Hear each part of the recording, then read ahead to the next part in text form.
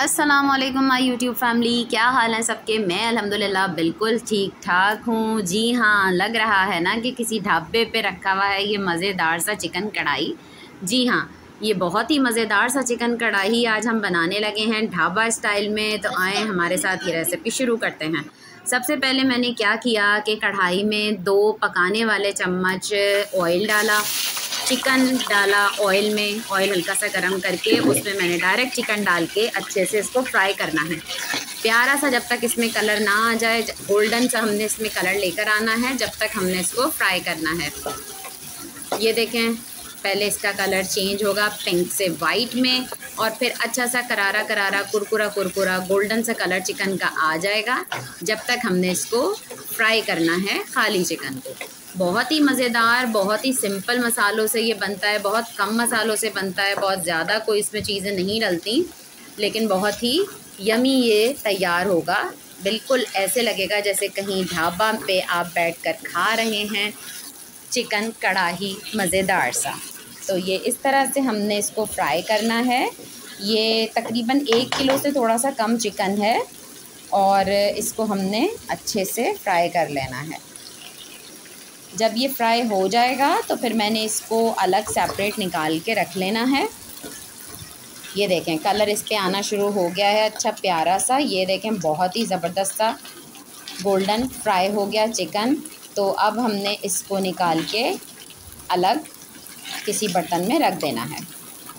ऐसे ऑयल से सेपरेट करके ना, निकाल के हमने रख देना है इसको। ये सारा चिकन मैं इसमें से निकाल लूँगी। ये देखें।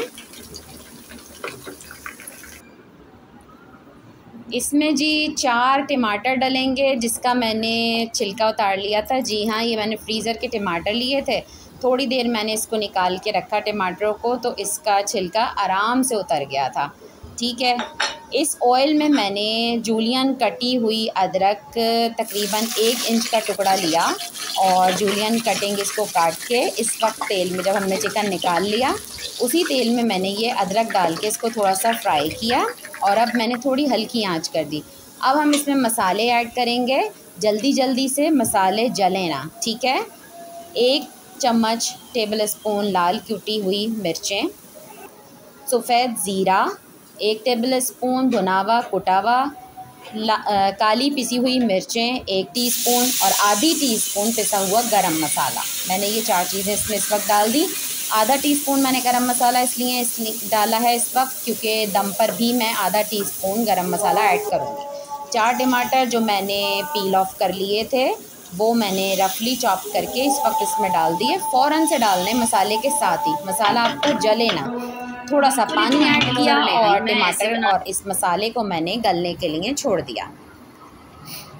ये जी पाँच से सात मिनट में मैंने इसका ढक्कन खोला तो ये टमाटर अच्छे से गल गए थे। इनको थोड़ा सा मैंने चमचे से प्रेस कर लिया ताकि बिल्कुल ये मसाले में मिक्स हो जाएँ। टमाटर सारे ये देखें बिल्कुल इसके पीसेस नहीं रहने चाहिए। टमाटर अच्छे से इसमें मसाले में मिक्स हो जाएँ।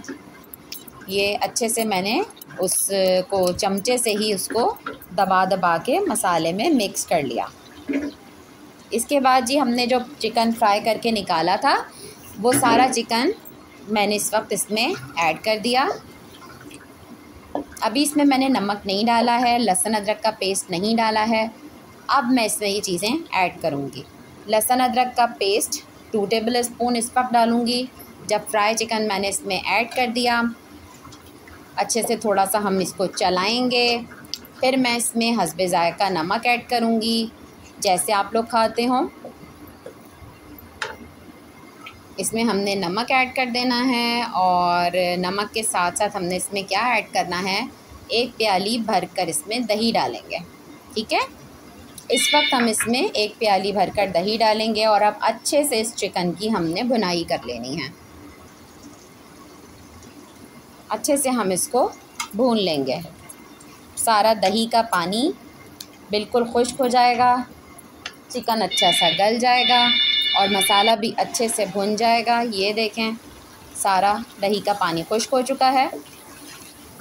तकरीबन पाँच ही मिनट लगे हैं मुझे ना ये दही का पानी खुश करने में और साथ साथ इसको भूनने में। ये देखें, कितनी अच्छी तरह से सारी चीज़ों की मिक्सिंग हो गई है। मसाला, टमाटर, दही, लहसुन, अदरक हर चीज़ इसमें ज़बरदस्त तरीके से इसका ग्रेवी मसाला तैयार हो चुका है। थोड़ा सा पानी इस वक्त ऐड करूँगी इसमें। थोड़ा सा और चलाऊँगी। और अब हमने दम पर इस पर क्या क्या डालना है, वो भी मैं आपको भी बताती हूँ। जी, दम पर मैंने इसमें डालना है जूलियन कटी हुई अदरक, आधा इंच का टुकड़ा, तीन चार हरी मिर्चें मोटी वाली लूँगी। थोड़ा सा हरा धनिया और थोड़ी सी कसूरी मेथी। ये है जी पिसा हुआ गरम मसाला। आधी टीस्पून मैंने इसमें डाला। हरी मिर्चें, अदरक, कसूरी मेथी, वो जो सूखी मेथी होती है ना, कसूरी मेथी थोड़ी सी और हरा धनिया। ये चारों चीज़ें मैंने इस वक्त इसमें डाली और ढकना ढक के हमने बिल्कुल हल्की आँच पे इसको पाँच मिनट के लिए दम पर छोड़ना है। इन सारी चीज़ों की खुशबू और महक पाँच मिनट में इसमें आ जाएगी और कितनी मज़ेदार इसमें अरोमा है, इतनी प्यारी इसकी खुशबू है कि जैसे आप किसी ढाबे पे आकर चिकन कढ़ाई इंजॉय कर रहे हैं। जी हाँ। और अब मैं आपको इसको डिश आउट करके दिखाती हूँ। ये देखें जी, वही लुक वही जायका, बहुत ही मज़ेदार ये चिकन कढ़ाई तैयार है। बहुत ही नए स्टाइल में मैंने आपको बनाना सिखाया। इसी तरह का जायका बिल्कुल हाई वे चिकन कढ़ाई में भी आता है आप ज़रूर ट्राई कीजिएगा और मुझे बताइएगा कि वही जायका ढाबे वाला चिकन कढ़ाई में आया या नहीं। मुझे अपनी दुआओं में याद रखिएगा। अल्लाह हाफिज़।